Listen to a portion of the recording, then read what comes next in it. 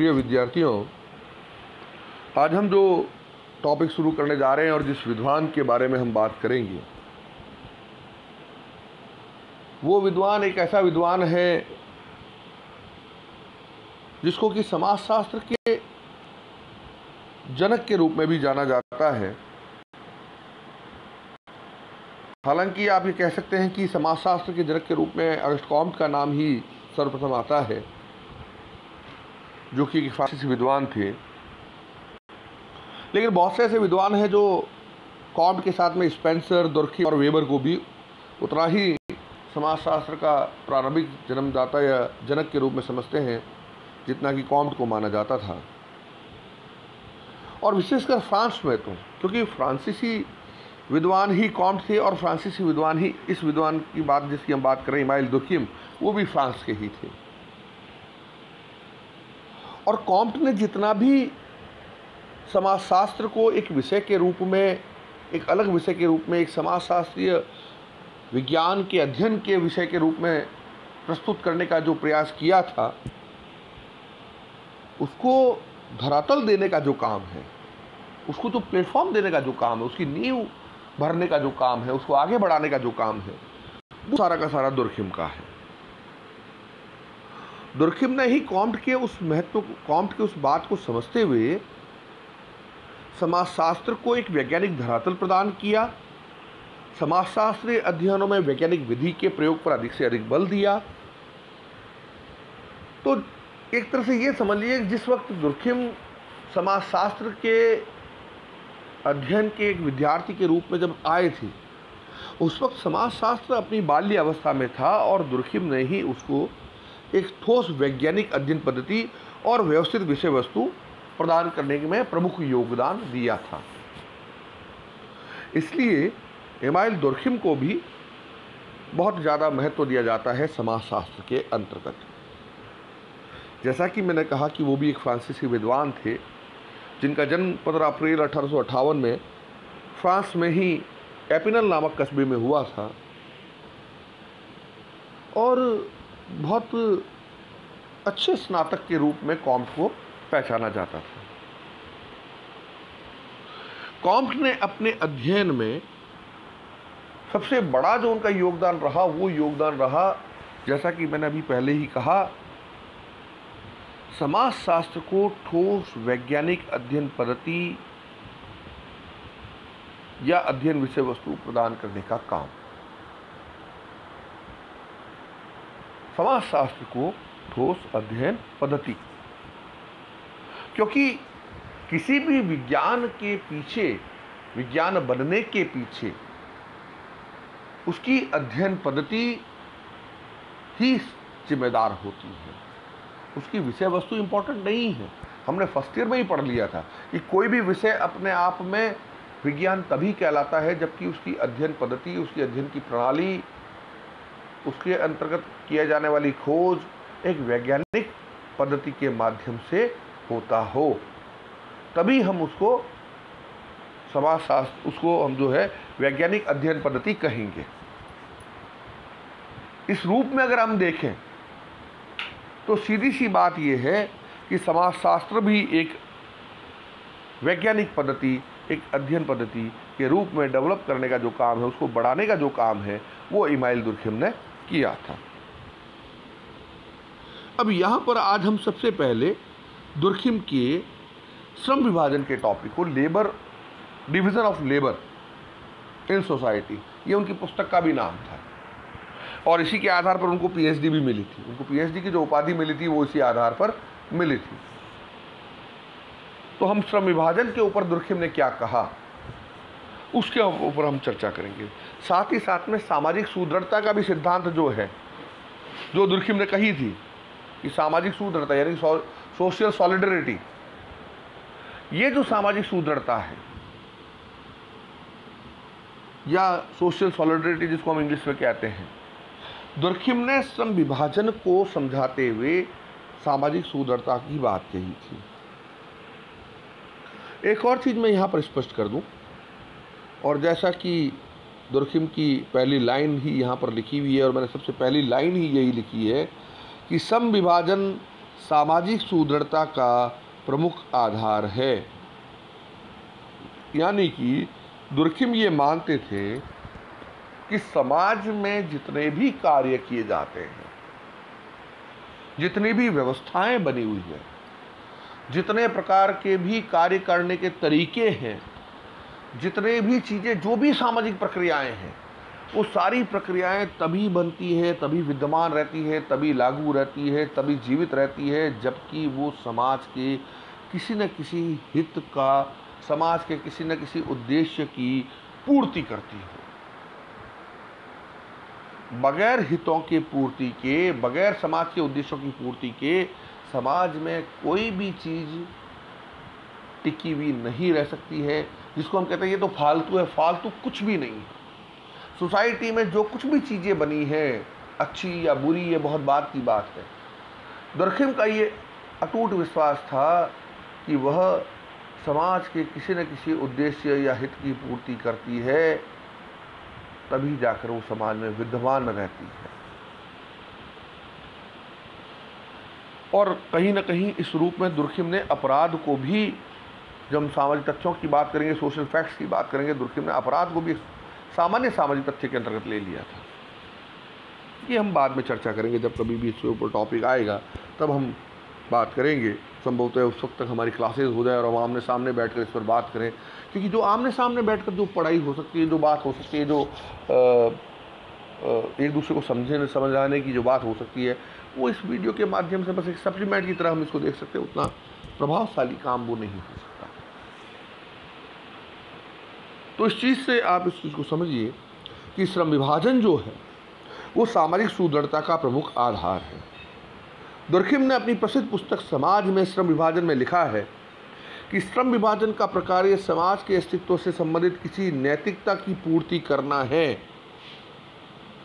बहुत स्पष्ट तौर पर दुर्खिम ने कहा है कि समाज में श्रम विभाजन, जो उनकी पुस्तक थी, उसमें लिखा है कि श्रम विभाजन का जो प्रकार यह है, जो काम है समाज के अस्तित्व से संबंधित किसी नैतिकता की पूर्ति करना है। जब समाज के सदस्यों की संख्या और उनके पारस्परिक संबंधों में वृद्धि होती है तो समाज में श्रम विभाजन में भी वृद्धि होती है। श्रम विभाजन ये कि अलग अलग समाज के जो काम है, वो अलग अलग लोग आपस में बांट लें। श्रम विभाजन का मतलब बहुत साधारण सा है। हर व्यक्ति सारा का सारा काम कर नहीं सकता। तो कुछ लोग कुछ काम कर लिए, कुछ लोग कुछ काम कर लिए तो अलग अलग रूपों में लोगों ने काम कर लिया तो श्रम विभाजन अपने आप में हो गया। दुर्किम कहते हैं, जब समाज में सदस्यों की संख्या और उसके पारस्परिक संबंधों में वृद्धि होती है तो समाज में श्रम विभाजन में भी वृद्धि होती है। और नए नए व्यावसायिक एवं सामाजिक समूह जन्म लेते हैं। इन विभिन्न समूहों के बीच एकता उत्पन्न करना समाज के अस्तित्व के लिए आवश्यक है। क्योंकि समाज में ये जो विभिन्न समूह उत्पन्न हो रहे हैं, जो अलग अलग कार्यों में लगे हुए हैं, जिनका अलग अलग कार्य क्षेत्र है, जो अलग अलग रूपों में अपना काम कर रहे हैं, यदि इनमें एकता उत्पन्न नहीं की गई तो समाज सही रूप में काम नहीं कर पाएगा, समाज का अस्तित्व से नहीं बन पाएगा। तो इन विभिन्न समूहों के बीच एकता उत्पन्न करना जो है, समाज के अस्तित्व के लिए आवश्यक है। एकता के अभाव में समाज में व्यवस्था और संतुलन कायम नहीं हो सकते। अतः विभिन्न समूहों के बीच एकता की आवश्यकता, एक नैतिक आवश्यकता है। यानी कि श्रम विभाजन समाज की नैतिक आवश्यकता की पूर्ति करता है। और इसीलिए मैंने ये आगे लिखा है कि और श्रम विभाजन का कार्य इसी नैतिक आवश्यकता की पूर्ति करना है। प्रिय साथियों, ये जो मैं आपको दे रहा हूँ, मेरी जहाँ तक नॉलेज है, जहाँ तक मैं उस वक्त जब इसको, मैंने इसको दिखाया था ये सब बातें किताबों में से निश्चित तौर पर ली गई है, लेकिन अलग अलग किताबों में से मैंने बेहतरीन नोट्स आपके लिए तैयार किए हैं, जो मेरी समझ के हिसाब से है। हो तो सकता आप इससे बेहतर कर पाए। मैं ऐसा दावा नहीं करता कि आप मुझसे बेहतर नहीं कर पाएँगे। लेकिन मैं ये समझता हूँ कि ये बेहतरीन नोट्स है जो मैं आपको अवेलेबल करवा रहा हूँ। मैं पीडीएफ फ़ाइल के रूप में भी इसको आपको देता हूँ। वीडियो में आप इसका स्क्रीन शॉट लेके इसको आप अपने नोट्स के रूप में इसको तैयार कर सकते हैं। तो एक बहुत अच्छा आपके लिए घर बैठे जैसा मैं हमेशा कहता हूँ, गंगा आई जैसी स्थिति आपकी हो रखी है। आप इसको बहुत ढंग से पढ़ें, ध्यान से पढ़ें, कॉपियों में इसको लिखें। मुझे लगता है आपकी पढ़ाई इससे बेहतर हो पाएगी।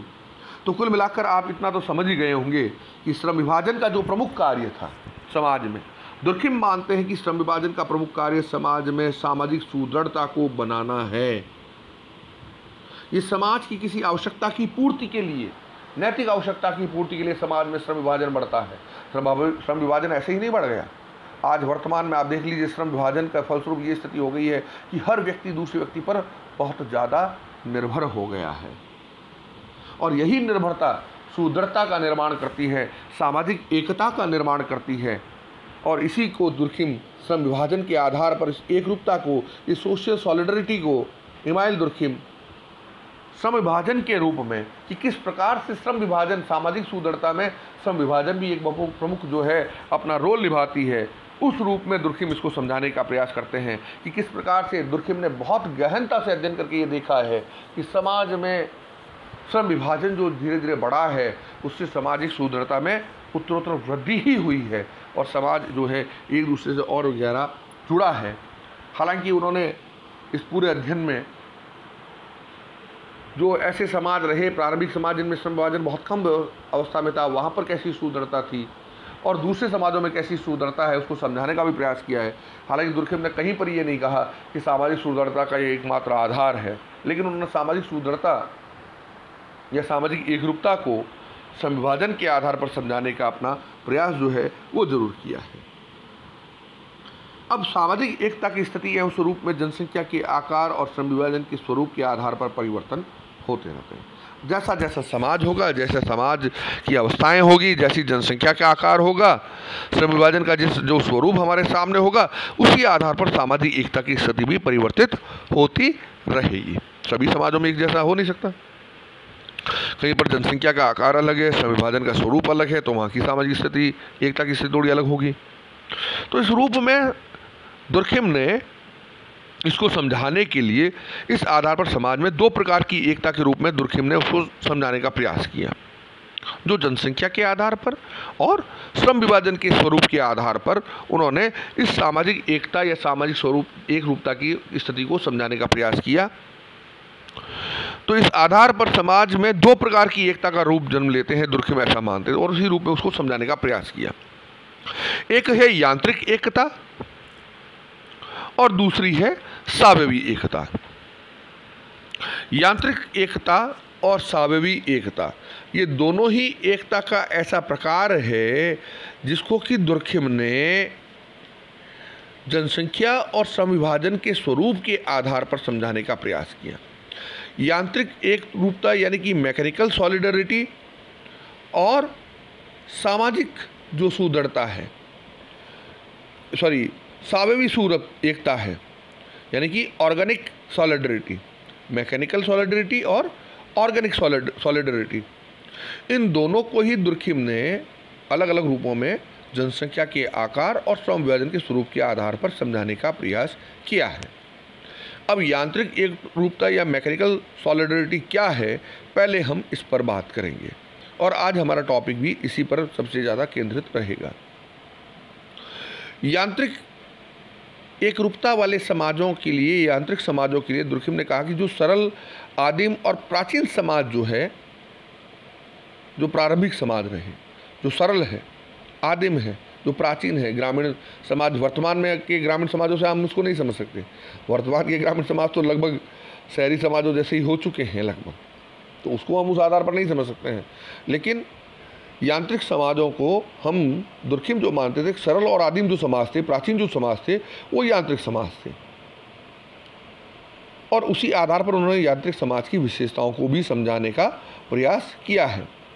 और यांत्रिक समाजों की विशेषताओं में सबसे पहली विशेषता है अविभेदीकृत या भेदभाव रहित समाज। अविभेदीकृत या भेदभाव रहित समाज। जैसा कि नाम से ही स्पष्ट हो रहा है। अविभेदीकृत या भेदभाव रहित समाज कौन से होते हैं? क्या वर्तमान के ग्रामीण समाजों को हम अविभेदीकृत या भेदभाव रहित समाज कह सकते हैं? मेरा जवाब होगा, नहीं कह सकते हैं। इसलिए मैंने कहा कि वर्तमान ग्रामीण समाजों को हम उसके अंतर्गत नहीं लें। बल्कि वर्तमान को न न लेकर प्राचीन जो हमारे सरल समाज थे, जो आदिम समाज थे, उनको हम यांत्रिक समाजों के रूप में समझें, जिसको दुर्खेम ने अविभेदीकृत या भेदभाव रहित समाज कहा है। ये अविभेदीकृत या भेदभाव रहित समाज वो थे, जो प्रारंभिक आदिम समाज थे। जिनमें अगर आप देखें तो आयु, लिंग या अनुवंशिकता के आधार पर थोड़ी बहुत गैर बराबरी ज़रूर पाई जाती थी। जैसे छोटा है तो ये कर सकता है, बड़ा है तो ये नहीं कर सकता। बड़ा है तो ये काम कर सकता है। लिंग के आधार पर महिलाएँ ये काम कर सकती हैं, पुरुष ये काम करेंगे। या छोटा मोटा उनकी कोई छोटी मोटी आनुवंशिकता के आधार पर थोड़ा बहुत कोई ऊंच नीच हो जाए। जैसे कबीले का मुखिया है तो वो ऊपर है, बाकी लोग थोड़े उससे नीचे हैं। पर बहुत ज़्यादा अंतर इनमें देखने को नहीं मिलता है। क्योंकि मुखिया है तो भी वही काम कर रहा है, और आम आदमी है तो भी वही काम कर रहा है। सभी सभी काम कर लेते हैं, सभी एक दूसरे के साथ हो जाते हैं। तो बहुत ज़्यादा इनमें भेदभाव या बहुत ज़्यादा इनमें अंतर देखने को हमें नहीं मिलेगा, सिवाय आयु या लिंग या छोटा मोटा कोई अंतर हो तो हमें दिखाई दे, वरना इनमें ऐसी चीज़ें नहीं दिखाई देती हैं। इनके विश्वासों में, व्यवहारों में, इनकी सोच में बड़ी साम्यता होती है। परंपराओं के बड़े वो धनी होते हैं, परंपराओं पर बहुत ज़्यादा विश्वास करते हैं, रूढ़ीवादिता पर बहुत ज़्यादा विश्वास करते हैं।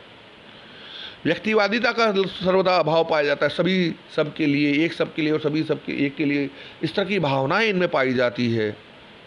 तो ये सारी चीज़ें जो हैं, वो एक प्रकार से हमें देखने को मिलेगा केवल ग्रामीण समाजों में मतलब वर्तमान तो नहीं, जो प्रारंभिक जो समाज रहे प्राचीन समाज, जो विशेषकर आदिम या जनजात के समाज या प्राचीन परम जो सरल समाज थे, उन समाजों को हम समझ सकते हैं कि इस रूप में जो है, इनको हम मान सकते हैं कि ये हमारे यांत्रिक समाजों के अंतर्गत आते हैं। तो ये यांत्रिक एक एक रूपता का एक बहुत बड़ा हमें यांत्रिक समाजों की एक बहुत बड़ी विशेषता हमें देखने को मिलती है। दूसरी इनकी विशेषता है कि व्यक्ति का द्वितीयक स्थान है। व्यक्ति का स्थान कैसा है? द्वितीय स्थान है। यानी कि व्यक्ति समाज से पहले नहीं, व्यक्ति परिवार से पहले नहीं है, व्यक्ति परंपरा से पहले नहीं है, व्यक्ति सामूहिक हित से पहले नहीं है। सबसे पहले यदि कुछ है तो वो है सामूहिक हित, समाज का हित। उसके बाद में व्यक्ति है। तो व्यक्ति का दूसरा स्थान है। कहीं पर भी व्यक्तिवादिता की बात जहाँ पर है इंडिविजुअल की बात है, या एक व्यक्ति विशेष क्या सोचता है, क्या नहीं सोचता है, ये बहुत ज़्यादा इम्पोर्टेंट इनमें नहीं पाया जाता है। तो ये इसकी दूसरी विशेषता है। तीसरा है सामूहिक चेतना। सामूहिक चेतना का प्रभुत्व होता है इनमें। आप सोचेंगे सामूहिक चेतना क्या है? किसको कहते हैं हम सामूहिक चेतना? कलेक्टिव जो कॉन्शियसनेस जो है कलेक्टिवनेस जो है, वो उसकी बात हम यहाँ पर कर रहे हैं। एक व्यक्ति विशेष क्या सोचता है? एक व्यक्ति विशेष किस रूप से लेता है? वो अपने आप में क्या उसकी विचारधारा है? ये बहुत इम्पोर्टेंट नहीं है, बल्कि समाज क्या सोचता है? वो बहुत बड़ी बात है। समाज के विश्वास, उसके जो संवेग है, इसमें प्रत्येक व्यक्ति की भागीदारी होती है और जो परंपराओं के आधार पर पीढ़ी दर पीढ़ी चला आ रहा है। और जब कभी भी कोई व्यक्ति उस सामूहिक चेतना, उस सामूहिक काम करने के तरीके पर क्वेश्चन मार्क लगाता है, कोई शंका करता है तो उनको लगता था कि ये समाज को चुनौती दे रहा है, ये हमारी, समाज को सीधा चैलेंज कर रहा है। और उसको जो है वो स्वीकार नहीं करते थे। और बड़ी बेरहमी से, बड़ी ताकत के साथ में उसको कुचलने का प्रयास किया जाता था। तो सामूहिक चेतना की बात है, जो पीढ़ी दर पीढ़ी जो चली आ रही है, जो सभी लोग सोचते हैं, उसी के आधार पर काम होगा। एक व्यक्ति विशेष कैसे सोचता है, वो बहुत इंपॉर्टेंट नहीं है। तो सामूहिक चेतना का जो प्रभुत्व है, वह बहुत ज़रूरी इसमें देखने को मिलता है। चौथा है दमनकारी कानून की प्रधानता। दमनकारी कानून अपने आप में बहुत इंपॉर्टेंट होता है। इसमें जैसा मैंने अभी कहा कि यदि कोई व्यक्ति सामूहिक चेतना के सामने, परंपरा के सामने पीढ़ी जो, रूढ़ी, जो पीढ़ी दर पीढ़ी जो परंपराएँ चल रही है, काम करने के तरीके चल रहे हैं, उनके ऊपर कोई क्वेश्चन मार्क लगाता है, उनके अगेंस्ट काम करता है, उनके जो नियम हैं, उनके जो कानून है, उसके खिलाफ जाता है तो फिर उसके साथ में दमनकारी कानून दमनकारी कानून जैसा कि नाम से ही लग रहा है, पूरी ताकत लगाकर उसको दबा दिया जाए, उसको कुचल दिया जाए। तो इस रूप में अगर हम देखें तो दमनकारी कानून की जो प्रधानता है, वो हमें इन यांत्रिक समाजों में देखने को मिलती है। तो कुल मिलाकर इतना हम समझ सकते हैं कि इन समाजों में, यानी कि जो यांत्रिक समाज होते हैं जो यांत्रिक एकरूपता लिए हुए हैं, जो सरल और आदिम और प्राचीन समाज हैं, इन समाजों में बहुत ज़्यादा जो है व्यक्ति का जो स्थान है वह नहीं है। और आज का अंतिम बिंदु है नैतिकता। नैतिकता क्या है? नैतिकता किसे कहते हैं? नैतिक आचरण या नैतिकता अपने आप में एक बहुत ही महत्वपूर्ण बिंदु आता है और कई जगहों पर हम देखते हैं साहब नैतिक आधार। और दुर्खी कहता तो श्रम विभाग पूरा का पूरा कहता भी है कि जो है, नैतिक कहीं ना कहीं समाज की किसी नैतिक आवश्यकता की पूर्ति करता है श्रम विभाजन तो भाई साहब, ये नैतिकता है क्या? नैतिकता कहते किसे हैं? अगर हम आमने सामने होते तो आप शायद प्रश्न का कोई उत्तर भी दे रहे होते। लेकिन यहाँ तो मुझे ही उत्तर देना है। तो मैं ही सीधी सीधी बात बता देता हूँ आपको। नैतिकता का तात्पर्य कार्य करने के उस तरीके के लिए है, या कार्य करने या सोचने के उस तरीके के लिए है, जो समाज अपने व्यक्तियों के लिए, अपने सदस्यों के लिए एक मानदंड तैयार करता है कि इस तरह से हमें काम करना चाहिए, या इस तरीके से हमें काम करना पड़ेगा। कई बार चाहिए की जगह पड़ेगा भी होगा, क्योंकि कठोरता से एक बात की जा रही है। तो ये एक नैतिक कि भाई कम से कम हमें ये तो हमारे समाज के लिए हमें करना ही होगा, ये तो एक नैतिकता होती है हमारी। इंसान होने की इतनी नैतिकता तो बनती है। यानी कि काम करने का ऐसा तरीका या सोचने का ऐसा तरीका या ऐसा मान, जो कि समाज के द्वारा एक मानदंड निर्धारित कर दिया जाता है कि अगर आप इस तरह से काम करते हैं तो ये सही है और इस तरह से काम करते हैं तो वो ठीक नहीं है। तो कम अज़ कम हमें इतना तो समाज के लिए करना ही चाहिए। जो उसका न्यूनतम जो उसकी प्रधानता जिसकी कार्य की किसी प्रधानता कि भाई इतना तो कम से कम उस आदमी में होना चाहिए। वो नैतिकता होती है। न्यूनतम जो मानदंड है, न्यूनतम जो आवश्यकता है, या न्यूनतम जो विचार है, जो समाज के हित के लिए है, सभी लोगों के लिए, हितों के लिए है तो नैतिकता पर बहुत ज़्यादा बल दिया जाता है। यांत्रिकता वाले जो समाज होते हैं, उनमें सामाजिक एकता का आधार नैतिकता होती है। और चाहे ये खैर इस बात को हम मान लें कि सावी समाजों में भी कहीं ना कहीं नैतिकता तो इसमें खैर एक आधार होती है लेकिन सामाजिक यांत्रिक समाजों में नैतिक आधार जो होता है वो बहुत ही सुदृढ़ होता है और नियंत्रण करने की एक बहुत भारी व्यवस्था होती है तो वो नैतिकता अपने आप में बहुत इम्पोर्टेंट इसमें होता है। तो मैं ये समझता हूँ कि आज के लिए हमारा टॉपिक जो है बहुत है। आप इसको थोड़ा ढंग से इसको पढ़िएगा, इसको समझने का प्रयास कीजिएगा। अगले अपने वीडियो में हम इस टॉपिक को जो है और आगे बढ़ाएँगे। तब तक के लिए आगे दीजिए। धन्यवाद।